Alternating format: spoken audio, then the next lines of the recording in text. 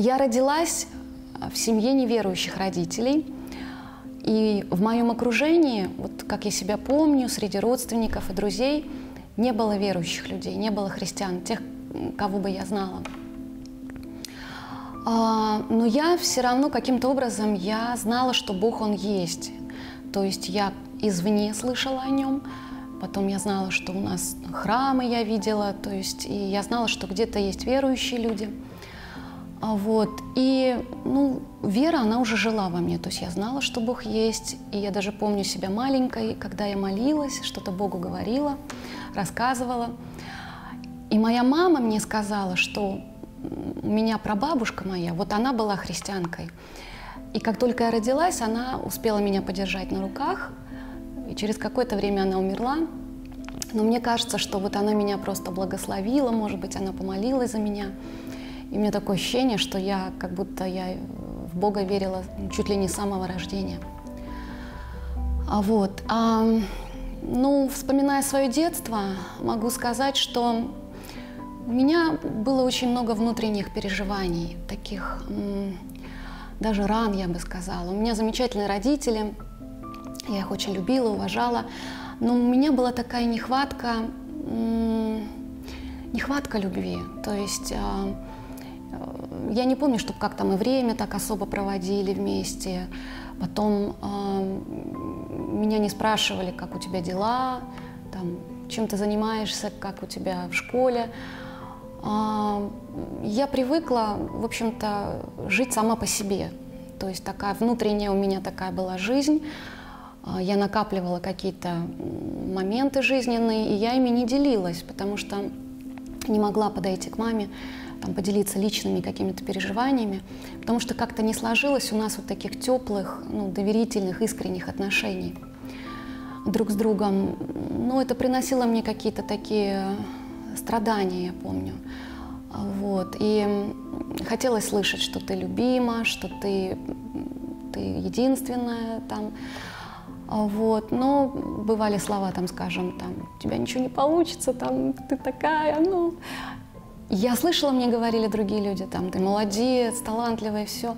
Но больше запечатлелось именно вот то, что я слышала в более близком окружении своем. Вот. И как-то я даже не знала, что с этим делать, но помню, что я уже будучи маленькой, я сама какие-то решения в жизни принимала, скажем, а, мне не советовали там, что делать, не направляли там, как жить.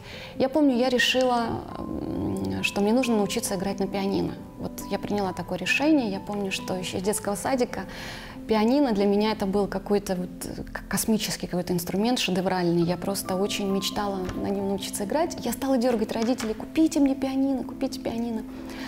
Вот, они говорили, да зачем, да успокойся, ну зачем тебе это? Я такая, купите мне пианино, просто им приставала. А, ну, они говорили, ну дорого стоит, мы не можем. Ну, по тем временам, да, дорого. Но я все равно, я не уставала. Потом у нас была преподавательница а, в школе, она давала частные уроки платные. Вот, я пришла к ней и говорю, пожалуйста, научите меня играть на пианино. А она, девочка, у тебя есть инструмент дома? Я такой, нет, извини. И я опять, купите мне пианино, купите пианино. И вот однажды, мне было где-то лет 10, а, я захожу в свою комнату, я приехала из лагеря, меня каждый год отправляли. Я захожу в свою комнату, и вдруг я вижу, стоит оно, настоящее. Я просто, я была так шокирована, я так благодарила родителей. Они мне купили в комиссионном магазине подержанное пианино, и я была счастлива. Вот. И, конечно, потом я занималась с преподавателем 4 года. А, вот, то есть я, я приняла решение, я как бы все, вцепилась за это. Потом, ну, как-то вот все сама делала, как я помню себя, там, куда поступать после школы, вуз какой-то. Ну, привыкла, что я предоставлена сама себе, и очень-очень не хватало вот, а, вот этого вот близкого отношения с родителями. И вот из-за этой нехватки любви, а, уже когда у меня был подростковый возраст, это где-то было начало 90-х годов, то есть там вообще непростое время и для страны, развал Советского Союза, и я подросток, у меня внутри это каждый день мир рушится, то есть там эмоции, все это кто-то в себе держит, кто-то выплескивает в переходный период. И я уходила с друзьями. Я уходила с друзьями просто вот на улицу куда-то общаться. То есть все, что мне нужно было, это ну, быть принятой, быть любимой, потому что вот именно в те моменты очень сильно во мне было, что я какая-то лишняя. Вот такие мысли у меня были, что я никому не нужна. Зачем вообще я живу? Я задавала себе этот вопрос очень часто. А в чем смысл жизни? Зачем я вообще на этой земле? Вот. И я уходила э, с друзьями, это были плохие компании, это был алкоголь. Я думаю, что я вот именно этим я как-то заглушала, ну, вот эту боль, которая была во мне, такая заниженная как, э, самооценка, отверженность такая глубокая была. Вот. И я настолько, ну как сказать, перестала ценить, что ли, свою жизнь, что я подумала, ну все теперь, я не буду держать никакие тормоза. Ну, то есть, и, и я отпустила тормоза, и я, а, ну как, покатилась. То есть это, это, это было такое мое такое падение. Я понимала, что все, что я делаю, это плохо, но я не могла остановиться. Вера в Бога, она была в моем сердце, и мне было тяжело от, а, от того, что я делаю, и но я не могла остановиться, и мне казалось, что э, все ниже и ниже я как-то да, опускалась, как, как, отказал, как сказал один человек, что ты уже так низко, что ниже плинтуса, что ты просто, ты уже вообще не понимаешь, где и что. И в тот момент, я помню, во мне стала происходить очень сильная борьба.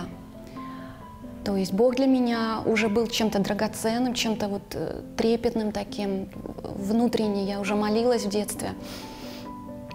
Я помню, я стояла на вокзале, я ждала свою подругу, и в моем сердце стала происходить вот эта борьба. Я услышала голос, я услышала голос Бога, я понимала, что Бог говорит ко мне.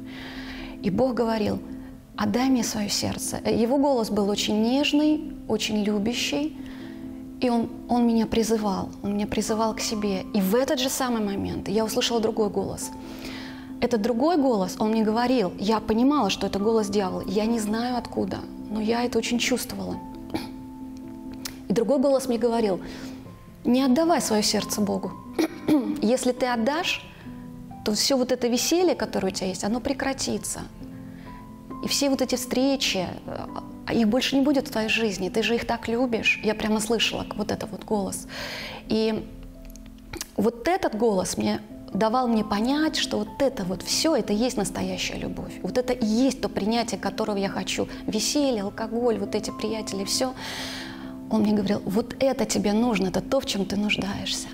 А Бог звал меня к себе и говорил, отдай мне свое сердце. И это был нежный, любящий, такой отцовский такой голос. И вот эта борьба, я помню, в тот момент мое сердце, оно, оно просто как, как разрывалось вот на части. И я приняла решение. Вот стоя там, я приняла решение. Да, это сейчас весело, это сейчас меня как-то уводит от реальности, да, чтобы мне забыться. Но я хочу быть с моим Богом. Вот я так размышляла в тот момент. Я приняла решение, что я отдаю свое сердце Богу. И эта борьба прекратилась. Но я все равно продолжала делать то, что я делаю. В моем окружении не было верующих людей, я не знала, где есть церкви, вообще не знала про протестантские церкви ничего.